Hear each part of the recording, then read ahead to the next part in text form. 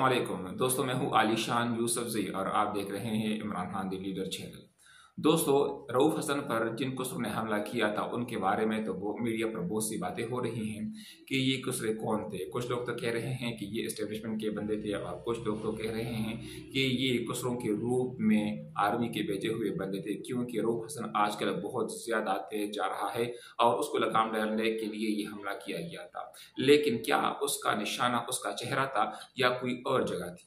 वहाँ पर कैमरे से वीडियो बनाने वाला शख्स कौन था? ये बातें इमरान रियाज ने अपने विलाक में कुल्लम कुल्ला बता दी कि ये ये कुसरे कौन थे और ये जो बंदा वीडियो बना रहा था वो कौन था और कब से वीडियो बना रहा था और वीडियो बनाने के बाद वो कहाँ चला गया? देखते हैं कि वीडियो में, कि इस विलाक में इमरान रियाज कुसरों के बारे में क्या कहते हैं और वो इससे क्या नतीजा हास करते हैं कि ये कुसरे कहाँ से आए थे और कहाँ गए थे। तो देखते हैं इस वीडियो में। लेकिन ये वीडियो शुरू करने से पहले मेरा ये चैनल ज़रूर सब्सक्राइब करें और बिल आइकॉन भी दबा दें और हो सके तो ये वीडियो लाइक करें, कमेंट भी इस पर कर दें और हो सके तो शेयर भी कर दें ताकि मेरी हौसला अफजाई होती रहे। तो चलिए देखते हैं कि इमार रियाज इसके बारे में क्या कहते हैं। भी नहीं हुई रऊफ साहब। सीधा अपने रास्ते जा रहे थे और उनको आकर पकड़ लिया। एक ने गरेबान से पकड़ लिया, पीछे से बाकी भी आ गए, वो मारना शुरू हो गए। और रऊफ हसन साहब को समझ नहीं आई कि ये एक्चुअली उनके साथ हो क्या रहा है। और फिर चादर के अंदर से निकाल के एक तेज़ धार आला, जिसके बारे में वहाँ पड़ा हुआ एक ब्लेड भी दिखाया गया कि इससे मारा है। और ब्लेड चलाने वाला या मारने वाला बड़ा एक्सपर्ट बंदा होता है, आम आदमी ये कर नहीं सकता। उसकी वजह यह है कि ब्लेड काफ़ी तेज़ आला है, उसको पकड़ना और उसको चलाना, उससे मारना हर आदमी का काम नहीं है। पुराने ज़माने में कुछ जेब कतरे हुआ करते थे। वो इसको बड़ी अच्छी तरह जानते थे कि ब्लेड को कैसे चलाते हैं। या बहुत पुराने ज़माने के अंदर कुछ जो ख़तरनाक लोग होते थे जराइम पेशा लोग होते थे तो वो ब्लेड को चलाना जानते थे। बहरहाल वहाँ पे एक ब्लेड दिखाया, यानी शाहिदीन ने, उन्होंने कहा, जी, इससे हमला किया गया है। और उनका जो हमला है, वो इस अंदाज में किया गया कि उनको यहाँ से ब्लेड लगा और यहाँ तक आ गया और सारा का सारा उनका मुँह कट गया है। बल्कि ऐसा दिखाई दे रहा था कि कुछ लोगों ने कहा कि उनके अंदर तक कट गई गाल पूरी।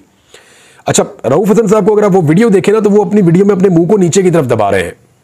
जब उनको वो खुसरे या ख्वाजा सरा उनको मार रहे हैं, उन पर हमला आवर हैं तो वो अपने आप को नीचे की तरफ़ दबा रहे हैं और अपने आप को बचाने की कोशिश कर रहे हैं तो उस वक्त ब्लेड मारने वाले ने अपना काम दिखाया।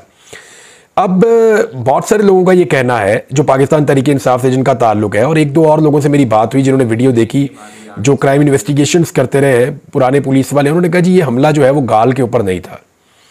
ये हमला उनके गले पे था।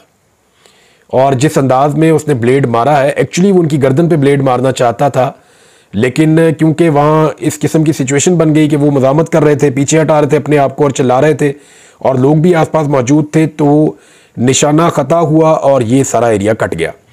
सिर्फ़ दो इंच नीचे खुदा न खास्ता वो ज़ख्म होता तो वो जानलेवा भी हो सकता था। ये बहुत सारे लोगों से मैंने बातचीत की तो उन्होंने मुझे ये बताया। अब हमलावर जो है वो फौरी तौर पर फरार हो गए, लेकिन वहाँ पर एक आदमी और मौजूद था। उसने वेस्ट कोट पहनी हुई थी और वो लगातार इस वाक़े की वीडियो बना रहा था। वाक़ शुरू होने से पहले भी वो वीडियो बना रहा था और वाक़ मुकम्मल होने तक उसने वीडियो बनाई और उसके बाद वो निकल गया वहाँ से। और ये जो ख्वाजा सरा है, ये वहाँ पे काले रंग की टैक्सी में बैठे और ये भी वहाँ से चले गए। अब ये ख्वाजा सरा थे या ख्वाजा सराओं के भेस में आए थे, ये तो तहकीकात के बाद पता चलेगा। लेकिन सोशल मीडिया पे आधी तहकीकात तो पाकिस्तानियों ने कर दी है। यानी ख्वाजा सरा नॉर्मली चादर पहन कर नहीं घूमते, वो अपना पतला सा दुपट्टा लेकर घूमते हैं और जब वो मेकअप करके या तैयार होकर निकलते हैं तो वो चाहते हैं कि लोग उन्हें देखें तो वो इस तरह की चादरें ओढ़ के नहीं आते नंबर एक। नंबर दो ख्वाजा सरा आप नॉर्मली देखें तो जब वो अपने काम पे निकलते हैं तो वो ऐसे जीन्स वगैरह नहीं पहनते जॉगर्स नहीं पहनते बूट नहीं पहनते। तो ख्वाजा सराओं ने बीच में जो है वो जीन पहनी हुई थी बूट पहने हुए थे और ये आ, उनका चाल ढाल भी वो लग नहीं रहा था कि ये लोग ख्वाजा सरा हैं। हो सकता है कोई एक आधा वो भी बीच में लेकिन वो ऐसा दिखाई नहीं दे रहा था। ऐसा लग रहा था कि ट्रेंड लोग हैं जिन्होंने अटैक किया है रऊफ़ हसन साहब पर। बहरहाल, ये एक बड़ा खौफनाक इंसिडेंट है। सोशल मीडिया पे इसका सख्त रद्दमल आ रहा है। पाकिस्तान के मीडिया पे इसका सख्त रद्दमल आ रहा है और बहुत परेशानी है पाकिस्तान में। ख़ास तौर पर सियासतदानों में बहुत परेशानी है कि देखें, हुकूमत तो हमेशा नहीं रहती ना। आज अगर पाकिस्तान तरीके इंसाफ हॉट वाटर्स में है तो कल नून लीग ने भी आना है पीपल्स पार्टी ने भी आना है, बाकी जमातों ने भी आना है। तो ये उनके लिए बड़ी अलार्मिंग सिचुएशन है कि इस तरह के हालात पैदा हो जाएँ कि कातिलाना हमले होना शुरू हो जाएँ। ब्लेड्स का इस्तेमाल शुरू कर दिया जाए तो ये बड़ा खौफनाक है। रऊफ हसन साहब ने बड़ी बहादुरी का मुजाहरा किया, उसके बाद उनको अंदर ले गए। शायद मसूद साहब डॉक्टर को कॉल किया गया, फिर उन्हें हॉस्पिटल पहुँचाया गया, और ये सारा एरिया उनका कटा हुआ था। डॉक्टर्स ने उनको स्टिचेस लगाए हैं। अभी मेरी बैरिस्टर सलमान ने आदि से बात हुई तो उन्होंने कहा, जी, बारह टांके उनको लगे। और उनको बाकायदा पूरी पट्टी हुई थी मुँह पे, उसके बावजूद वो वी बनाकर विक्ट्री का निशान बता रहे थे अस्पताल से। तो हैं तो वो अच्छी स्पिरिट के अंदर। और उन्होंने अपना मौके ये दिया पुलिस को कि जी, मैं अपना प्रोग्राम करके वापस जा रहा था, चार लोगों ने मुझ पर हमला किया। मेरे मुँह पर ब्लेड जैसे तेज़दार आले से कट लगा है। इमरान खान साहब का इसके ऊपर मौकफ आया। पाकिस्तान तरीके इंसाफ के चेयरमैन वो इस पर क्या कह रहे हैं वो आपको बताना, लेकिन इससे ज़्यादा एक और मौकफ आया, वो भी आपको बताऊँगा। इस वक्त तमाम पोलिटिकल पार्टीज़ इसकी मजम्मत कर रही हैं। सब इसको ये कह रहे हैं। और देखिए, इस तरह का हमला एक पहले हो चुका है समी इब्राहिम साहब पे भी। लेकिन खुशकिस्मती से वो बच गए थे। यानी वो फौरी तौर पर उन्होंने अपने आप को बचा लिया था। मुमकिन है उनके ऊपर भी इसी तरह ब्लेड चल जाते। लेकिन समी इब्राहिम साहब के सिर्फ़ कपड़े फटने तक मामला महदूद रहा और वो बच गए। यही लोग कल मुबैना तौर पे एक न्यूज़ के दफ्तर के बाहर भी मौजूद थे, जहाँ रऊफ हसन साहब ने जाना था, लेकिन फिर उनका प्रोग्राम जाने का कैंसिल हो गया था।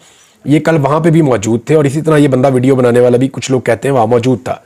जी तो दोस्तों पता चल गया कि इमरान रियाज ने किस तरह इन कसरों के ऑपरेशन कर दिए और सारे हक सामने ला कर रख दिए कि ये कसरे कौन थे और कहाँ से आए थे और कहाँ चले गए और ये वीडियो बनाने वाला बंदा कौन था।